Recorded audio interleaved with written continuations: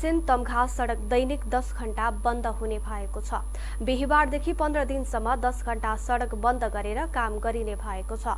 तानसेन तमघा सडक खण्ड अन्तर्गत पर्ने पाल्पाको रिब्दीकोट गाउँपालिकाको सिरुखर्क मालमूल क्षेत्रमा सडक फराकिलो गर्नका लागि काम थालिएको सडक डिभिजन कार्यालय पाल्पाका प्रमुख प्रदीप निरौलाले जानकारी दिनुभयो। मालमुम क्षेत्रमा करिब दुई किलोमिटर साँघुरो अप्ठ्यारो बाटोलाई फराकिलो बनाउने योजना अनुरूप कामको थालनी गरिएको सडक डिभिजन कार्यालयका पाल्पाका इन्जिनियर निरञ्जन अर्यालले बताउनुभयो। उहाँका अनुसार यस क्षेत्रमा हाल दैनिक चालिस कामदार काम गर्दैछन्। साना सवारी साधनका चालकले वैकल्पिक मार्गको रूपमा जोर्ते चण्डी भन्ज्याङ सडक प्रयोग गर्न सक्नेछन्। सिरुखर्क मालमूल क्षेत्रमा बिहिबारदेखि आउँदो पुस सात गतेसम्म बिहान पाँच बजेदेखि नौ बजेसम्म दिउँसो बाह्र बजेदेखि तिन बजेसम्म र साँझ सात बजेदेखि दस बजेसम्म सडक बन्द रहने सडक डिभिजन कार्यालयले जनाएको छ। सो सडक खण्ड भएर पाल्पा गुल्मी बुटवल बागलुङ पर्वत लगायतका यात्रु